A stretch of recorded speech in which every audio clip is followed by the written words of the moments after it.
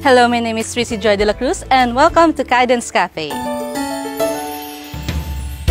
good morning. Good morning. Ice coffee para may macchiato. Okay, for what your orders, ma'am?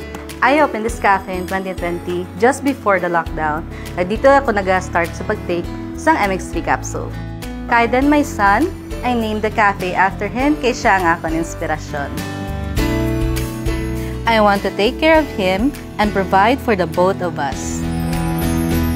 Being a single mom and managing the cafe is very challenging, so having MX3 Capsule as my business partner is such a big help.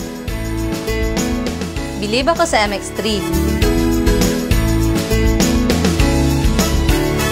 Together with proper diet and exercise, fuels me to provide for guidance needs.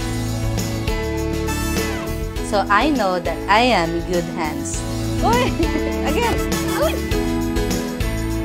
Hindi mahapos maging isa ka single mom, pero kaya sa gihapon cause I am an MX3 believer. I hit the order.